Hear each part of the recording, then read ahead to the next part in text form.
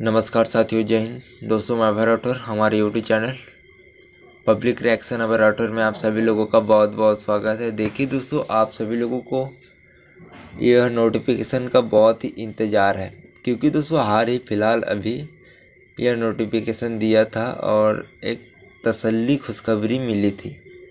लेकिन दोस्तों, किसी भी अखबार में या किसी भी वेबसाइट में इस प्रकार कोई अपडेट देते हैं तो लोगों को बहुत ही खुशी होता है।